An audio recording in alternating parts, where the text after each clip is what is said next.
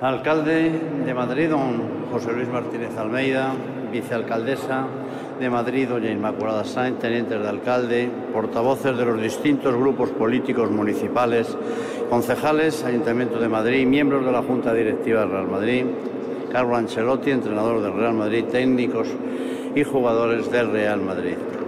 Querido alcalde, en primer lugar quiero agradecerte que nos acompañaras anoche en la gran final de Wembley. Muchas gracias por tu presencia y por este cariñoso recibimiento en el Ayuntamiento de Madrid que nos habéis dado. Aquí vinimos hace tan solo unas semanas con la Liga número 36 y prometimos que este equipo iba a intentar con todas sus fuerzas conseguir la decimoquinta Copa de Europa. Y aquí la traemos hoy. Esta nueva Champions se la ofrecemos a todos los madridistas y también a todos los madrileños. Nos sentimos muy orgullosos de llevar el nombre de la ciudad de Madrid por todo el mundo. El Real Madrid es es uno de sus grandes embajadores. Ha sido así desde hace 122 años y así seguirá siendo, porque aquí nació el mito y la leyenda de nuestro club. Hemos podido comprobar, desde que finalizara el partido anoche contra un gran rival como es el Borussia Dortmund, cómo todos los medios de comunicación del mundo hablan del Real Madrid con profunda admiración y cómo se ha vivido el triunfo en todos los rincones del planeta.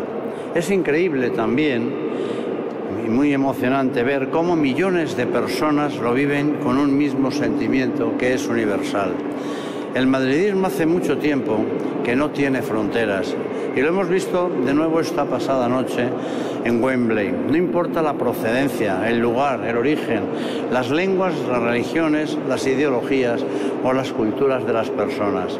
Este escudo ha sido capaz de unir a la gente y eso ha sido posible gracias a los valores que el Real Madrid ha logrado transmitir de generación en generación. Cuando se preguntan cómo es posible lo que hace el Real Madrid, se obtiene la respuesta en estos valores que tienen que ver con el trabajo, el sacrificio, el afán de superación, la humildad, el respeto o la solidaridad. Y como siempre digo, ser del Real Madrid es también una actitud, una forma de entender la vida. Luchar hasta el final convencidos de que somos capaces de conseguir cualquier desafío, por muy grande que pueda parecer. Reitero mi agradecimiento y el de toda la Junta Directiva a nuestros jugadores aquí presentes unos futbolistas extraordinarios que han sido capaces de construir una historia que ya es eterna. Conseguir la decimoquinta Copa de Europa agiganta la historia del Real Madrid y la hace casi irrepetible en el mundo del fútbol y del deporte. Ayuda a conseguir todo esto el sentimiento madridista que tienen estos jugadores. Sienten que forman parte del club más querido y admirado del mundo y están orgullosos de ellos. Gracias de nuevo también a nuestro entrenador, Carlo Ancelotti, que lidera esta familia que son sus propios jugadores. Querido Carlo, te has ganado la admiración y el cariño de todos los madridistas y ya eres uno de los más grandes entrenadores de la historia del Real Madrid y de la historia del fútbol y nuestra afición te lo va a agradecer eternamente. Una afición que ha vuelto a ser fundamental para conseguir esta nueva Copa de Europa y cuyo comportamiento en Londres ha sido ejemplar, como ya es habitual. Y por último, me van a permitir también que tenga unas palabras de agradecimiento para los trabajadores del Real Madrid. Este es un club cuyos empleados dan siempre lo máximo en busca de la excelencia y eso también es una de las claves del éxito del Real Madrid. Tengo que decir que yo como presidente estoy orgulloso de todos ellos. Termino, querido alcalde.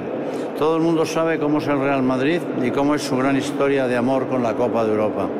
La competición que impulsó Santiago Bernabéu junto al periódico francés L'Equipe Hoy precisamente se cumplen 46 años desde que nos dejara nuestro querido presidente Santiago Bernabéu, el hombre que nos marcó el camino para afrontar el futuro de nuestro club.